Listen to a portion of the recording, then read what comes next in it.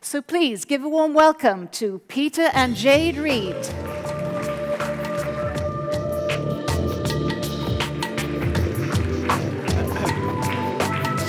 very bright. What a lovely intro. Um, how many entrepreneurs in the room? Oh my God, a lot. How many aspiring entrepreneurs in the room? Come on, you want to. okay, so this is for all of you.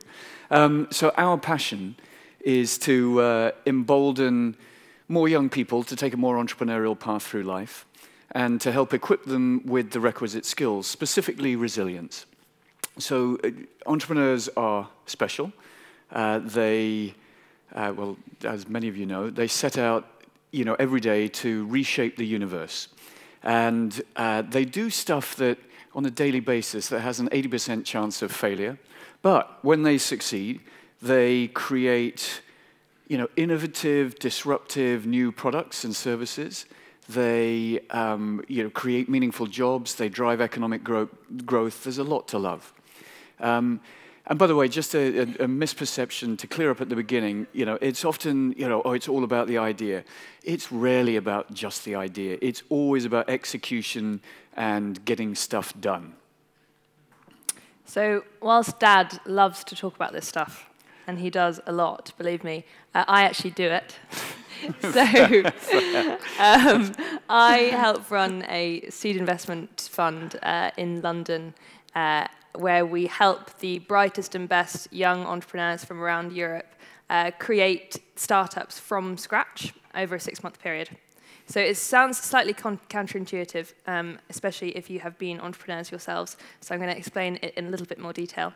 Um, so basically, we select people as people uh, before they have a team and before they have an idea. But they are the best uh, technologists from where they come from. So often they have done PhDs, or maybe they are in postdoctoral research, or they've been working in their companies for uh, you know four or five years, and they've been at Google, Facebook, DeepMind, whatever um, in fields such as robotics or computer vision or machine learning or any of these big sort of technical buzzwords that you hear a lot these days. Um, so we select them because they are amazing and they are experts in their field, but before they have a team and before they have an idea. We bring them to London and then we help them uh, form a company and build a company with a team uh, over a six-month period. So, so far we have built 50 companies in uh, just over three years, and they're now collectively valued at about $400 million. So we're on our way to something. Um, right.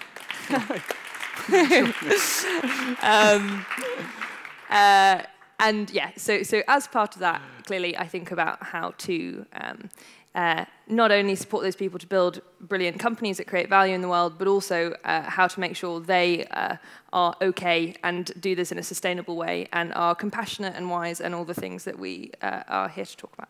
So, um, so there you are. She actually really does do it. Um, and um, again, actually, if I can sort of step back a little bit and be the, the you know, think about it philosophically, it might be helpful to uh, understand what, what entrepreneurs actually do. Um, and they take risks uh, by definition. And specifically, um, it's helpful probably to think about it in, in three steps. So first of all, identifying and quantifying a set of risks that are worth taking. That might be market risk, it might be product risk, it might be execution risk.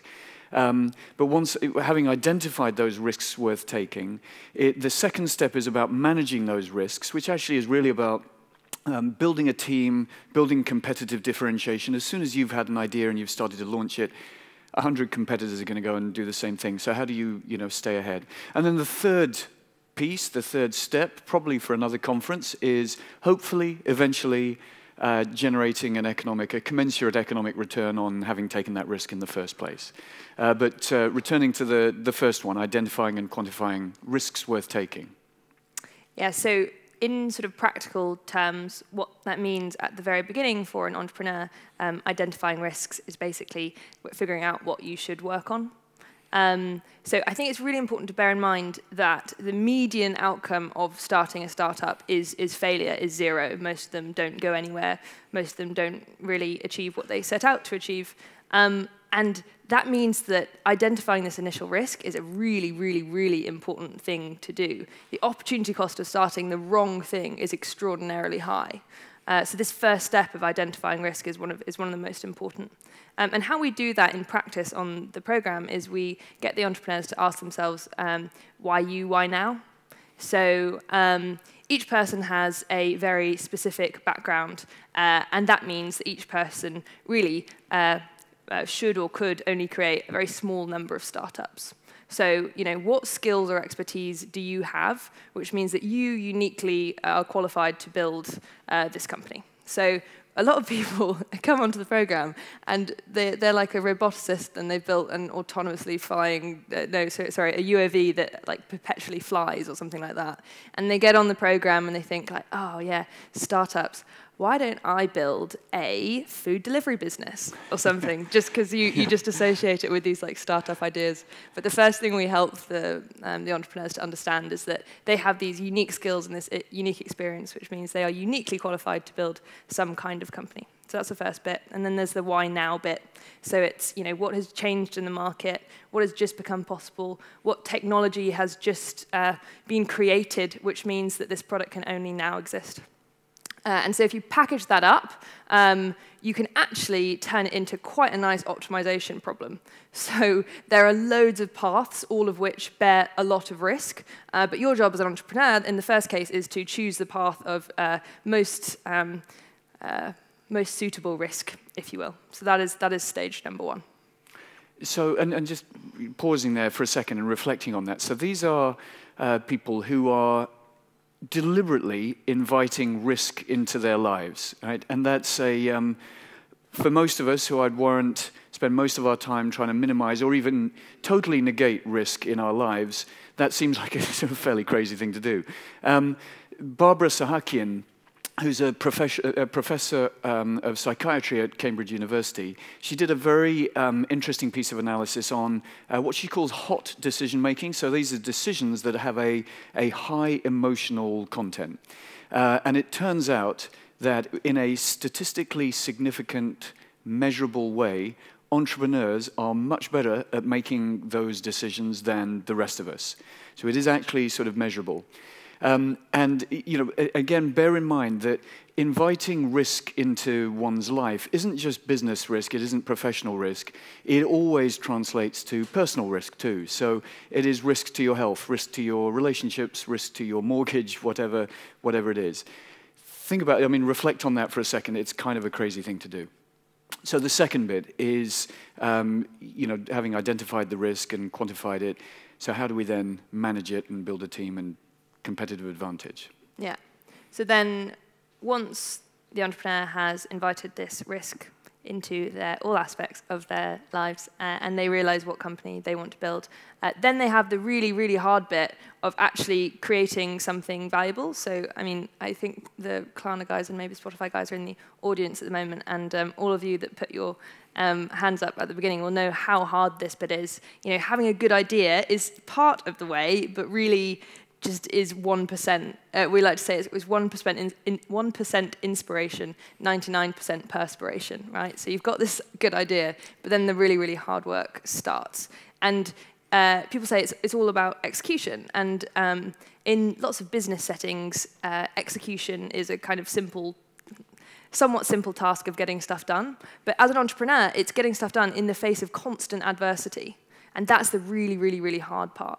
And on the program, uh, one of our, the things that I'm most sad about is the, the biggest cause of failure is that the founders give up because it's really hard. It's so difficult. There are so many more easier ways to make money um, in the world than there are to, to try, and, try and be an entrepreneur, um, especially at that super early stage where it's just you or you and one other person. Um, so we see, so we see a lot of people give up. And so up to this point, you've probably been thinking, is this just a lecture on how to start a company? But this is where the resilience part comes in. So this is where resilience is really, really important and, and makes the difference between uh, an entrepreneur who burns out and maybe gives up, and an entrepreneur who uh, continues and creates something truly valuable and you know, creates the Spotifys and the Klarnas that are still alive today. So um, let's think about that for a second. So, what is resilience and how do we build it? Um, and when we talk about resilience, we like to think about it in, in sort of two ways, two buckets, if you like. One is about uh, protecting the downside of being an entrepreneur, and one is about unlocking, uh, unlocking the upside. So, in terms of protecting the downside, what we really mean by resilience in this entrepreneurial setting is, uh, you know, mental well-being in the face of, you know, adversity. Uh, it's about uh, managing stress and anxiety. It's about making decisions in highly ambiguous, highly uncertain, highly volatile environments.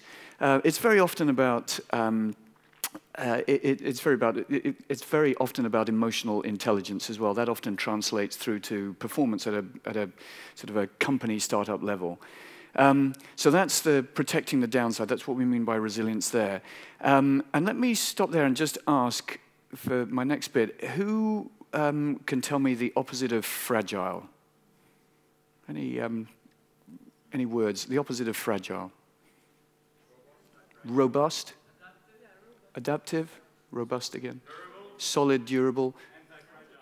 Hello. Ooh, Who's ruined the read the book? You've been cheating. um, so the um, uh, it, it's it's absolutely true. So the, you know, fragile is clearly stuff that collapses when it confronts risk, uncertainty, volatility, and robust, durable. That's what I would have said all that really means is it can withstand um, risk, volatility, uh, volatility, uncertainty. And Nassim uh, Nicholas Taleb, who wrote The Black Swan, also wrote another book called Anti-Fragile, uh, because the word didn't exist, so he invented one. And, and what he means by that, and I think it's a really fascinating concept, and, um, and he actually often talks about, you know, entrepreneurs are anti-fragile.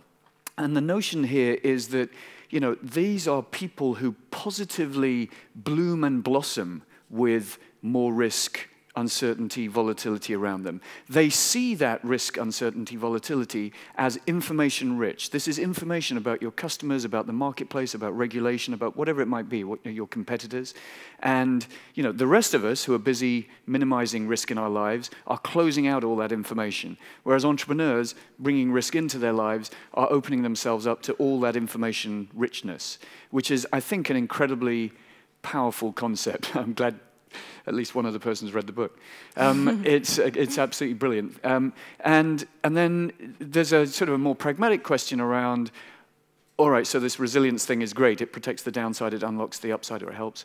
Um, how do we build it? Sounds marvelous. So um, uh, a few ideas on that. One is around uh, Christine Padesky, um, who's done some really, really interesting work on what she calls strength-based CBT.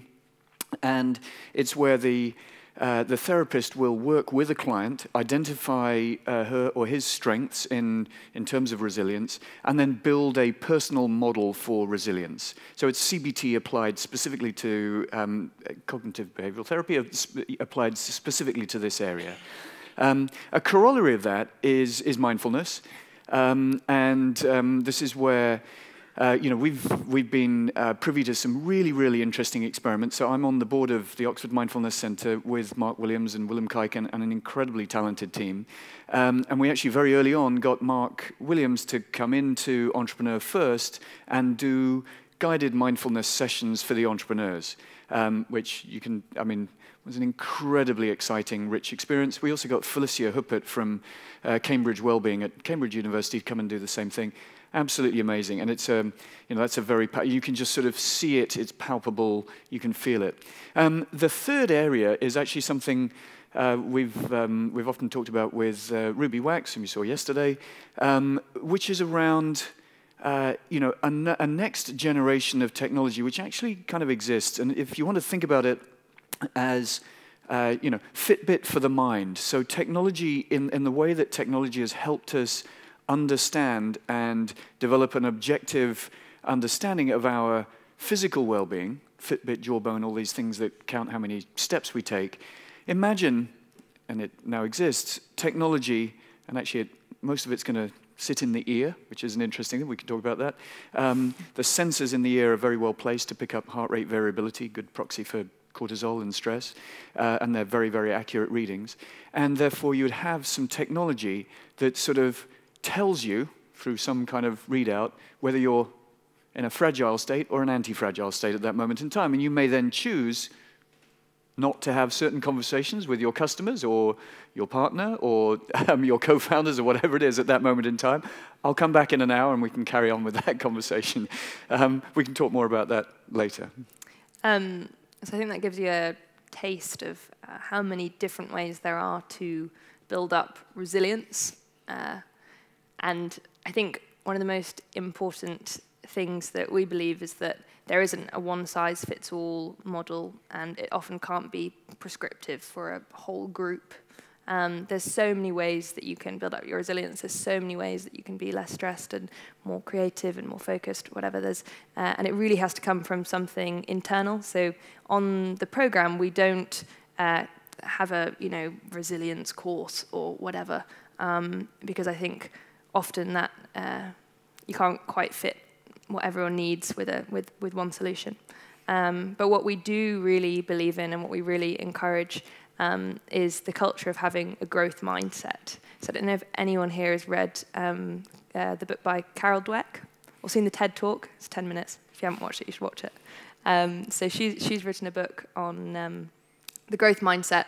And basically, uh, there are two types of mindset, um, a fixed mindset and a growth mindset. So in a fixed mindset, um, uh, if you have a fixed mindset, you are born and you grow up and you realize that you are really great at basketball and like very bad at maths and an all right listener and not bad at cello and you don't really think that anything you can do, there's anything you can do to really change that, right? You're as smart as you'll ever be, and there's some things you're good at, there's some things you're not good at, and that's your lot. But uh, there's this other mindset called a growth mindset. Um, and if you have a growth mindset, then you believe that uh, even your most basic abilities can be changed by dedication and hard work. So in a great, great growth mindset, you might think, you know, at school you weren't very good at maths, um, and you weren't really very good at basketball either. Um, but you are, you know, an amazing cellist, whatever it might be. But the important thing there is that all of those things are just um, in the present and don't reflect what can happen in the future. Um, and so we really, really want to um, embrace this culture of learning and improving uh, and uh, showing people that you can learn and improve in whatever way suits you best. So we try and have this big culture of a, group uh, of a growth mindset, you know, where you are not just born resilient or not, and you're not just born a good entrepreneur or not, um, but we try and help give people the tools to uh, improve themselves. Uh, and that's kind of the culture that we want to create. I was just thinking, actually, we're back with, um, with Ruby, we're back with Gloria Gaynor. Um, and she's going to have to rewrite I am what I am. And we're going to have to think of something that rhymes with neuroplasticity, right? Which is quite tricky. So that's what we, um, that's all we really sort of had to say. But we would love to take questions if we have time. Um, so we're, we would love questions. Does anybody have any questions? And you'll let us know if we don't have time. Okay. Yeah.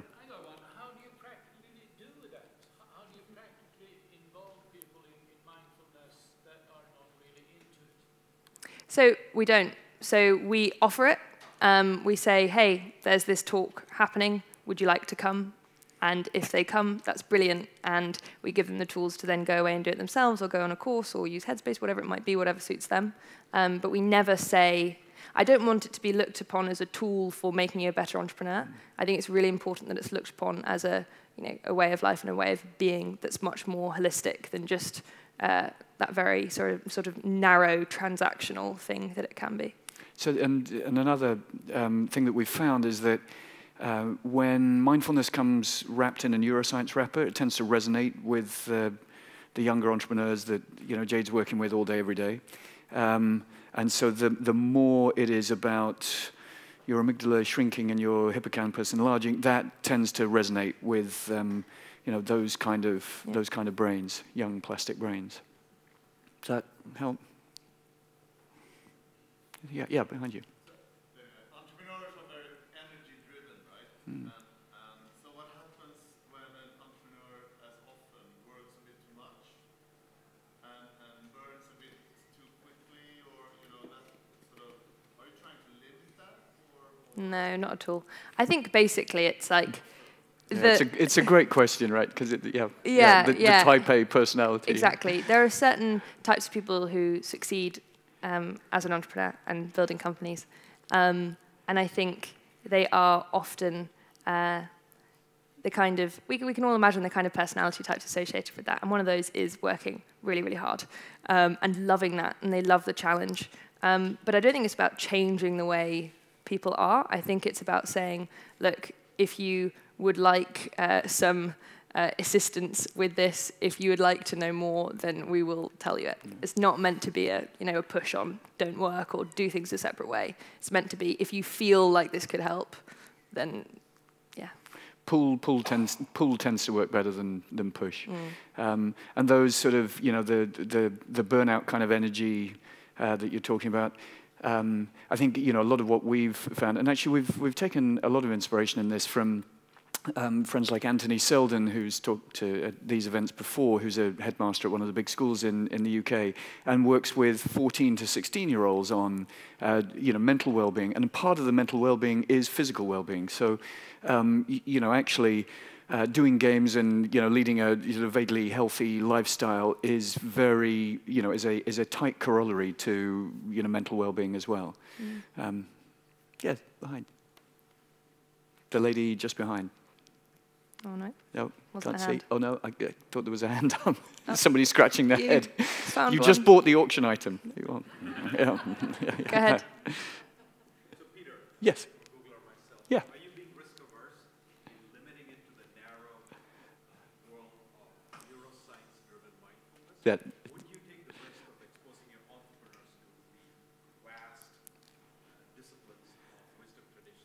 yeah. So I, I mean, that is such an interest. I mean, Mm. that's probably a longer conversation, but but I'll have a go at it right now because the answer is yes, right? So we are um, we're being sort of narrow and narrow-minded in in doing what we've just described. Um, we're also just trying to be uh, pull rather than push. Um, but I think the you know the the point is really well made and. What we've often found, and I know, um, uh, by the way, I, I left Google a couple of months ago. I know I was introduced as working at Google Ventures, but I left a couple of months ago. It's an amazing company. One of the things that um, uh, Google, that Meng and you know others, um, you know, found that they had to do in the early days of um, getting these kind of programs, Google Pause and Search Inside Yourself, moving within a within a corporate um, uh, edifice like that, was actually to tie it to, uh, in that case, emotional intelligence and you know all the great stuff that Dan, Daniel Goleman has done, uh, and because emotional intelligence had already previously been tied to you know, improvements in performance and productivity and therefore profitability. And therefore that, within a corporate setting, made it more palatable, it made it more fundable by, you know, these things cost money. Um, and therefore, again, I think maybe there's something in a crowd like this that we look at that and go, well, is that really about the individual, which is probably where we would feel it should be, or is that really about you know helping the company be more profitable? So again, I think some of these approaches inevitably end up being a little bit more narrow-minded and more focused in order to get done.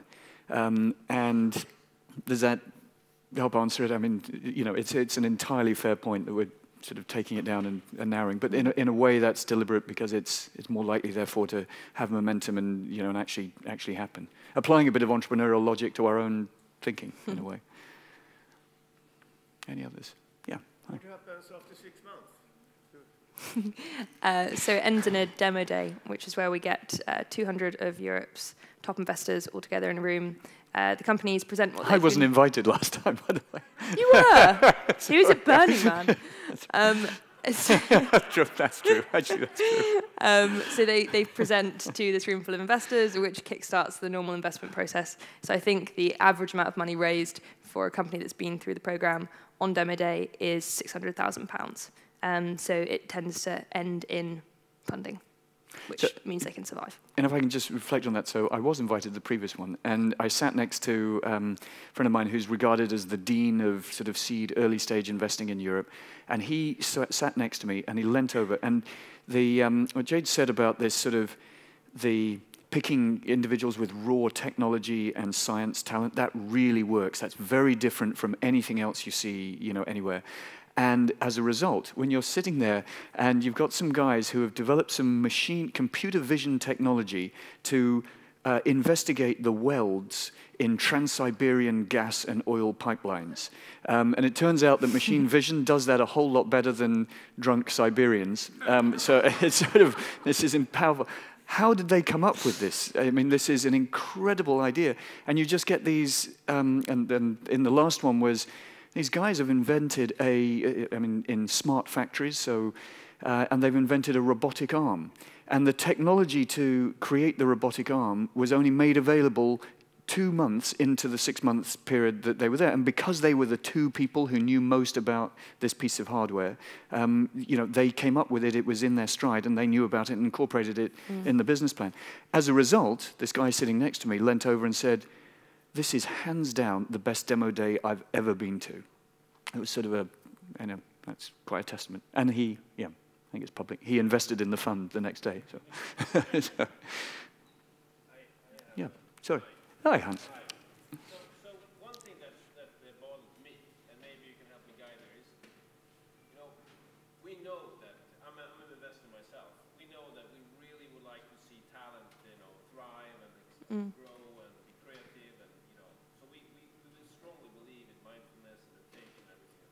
I know Google is, is, is, is active, you know, for a long time, you are here, you are here, but then if you look at the rest of the corporate world, you know, there's very few companies out there. You know, Ericsson, you take Swedish example, there's nothing, uh, you know, and that surprises me so much. There's no, one. is anyone from the big corporations here in this room? Anybody brave enough to confess?